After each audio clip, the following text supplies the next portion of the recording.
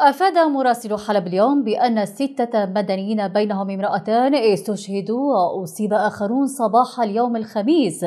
نتيجة قصف استهدف عدة مناطق في غوطة دمشق الشرقية. وأضاف مراسلون أن اشتباكات عنيفة دارت على جبهتي كرم الرصاص والمحمدية في محاولة لقوات النظام اقتحام المنطقة. كما صد الثوار في منطقة وادي بردة محاولة قوات النظام وميليشياته اقتحام قرية أبو هريرة. وقال ناشطون إن أكثر من 30 عنصرا للنظام وميليشياته بينهم أربعة عناصر من حزب الله قتلوا خلال المعارك. ولمزيد من التفاصيل ينضم, ينضم إلينا من ريف دمشق مراسلنا منصور أبو الخير. منصور لو تطلعنا بداية على آخر تطورات المعارك في الغوطة الشرقية التي كانت إلى فترة قريبة هادئة نسبياً. نعم غنى بالفعل آه، الاشتباكات آه، لم تتوقف ولم تكن هادئة نسبيا. الاشتباكات كانت مستمرة منذ سقوط جنوب الغوط الشرقية وحتى هذه اللحظة. النظام عندما يستطيع السيطرة على منطقة ينتقل إلى منطقة أخرى لبسط سيطرته عليها كما شهدنا في منطقة البحارية وميدان. النظام مستمر في اشتباكاته ومستمر في محاولة التقدم على عدة جبهات.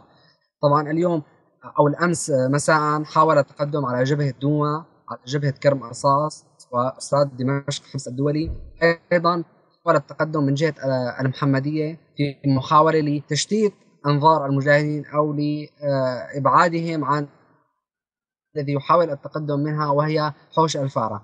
جبهة حوش الفارة هي المعركة المحتدمة بين الثوار وعناصر النظام منذ عدة أيام.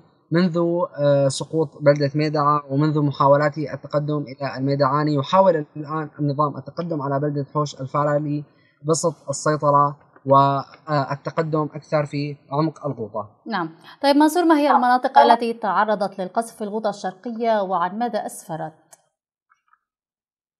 نعم أغلب مناطق الغوطة الشرقية تتعرض لقصف آه الأمس بيت سوا وجسرين وحرستا ودوما واليوم يوم منذ الصباح آه، الريحان والشيفونية ومنطقة الأحواش في منطقة المرج كلها تتعرض لقصف مدفعي وجوي بالإضافة لصواريخ الأرض. أرض. أكثر من 20 غارة جوية استهدفت بلدة الريحان بالإضافة للشيفونية ومنطقة الأحواش.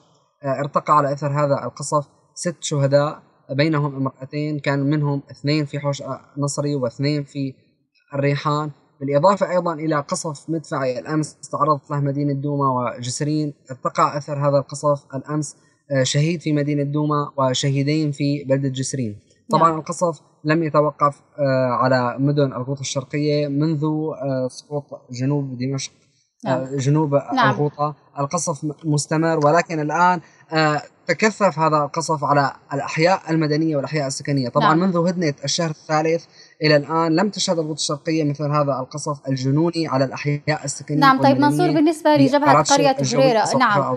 منصور بالنسبة لجبهة قرية هريرة يعني ماذا عن تفاصيل المعارك هناك؟ وعن ماذا أسفرت تلك المعارك؟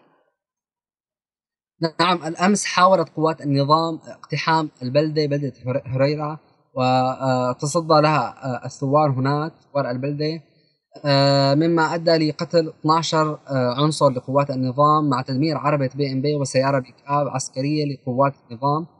آه، طبعا الهجوم كان مشترك بين قوات النظام وعناصر من حزب الله. مقاومة عنيفة شهدتها البلدة من قبل الثوار للتصدي لهذا الهجوم. استطاع الثوار التصدي له.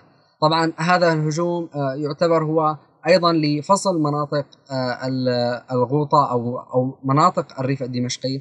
هذه المنطقة التي تقع في وادي برده هي تفصل آه، مناطق الزبداني والوادي عن مناطق جرود القلمون آه، الغربي. طبعا الاشتباكات هي يعني غير مسبوقة كانت على هذه البلدة. الآن الأجواء هذه في تلك البلدة بعد هذه الاشتباكات. نعم شكرا لك منصور. أبو الخير مراسلنا في ريف دمشق.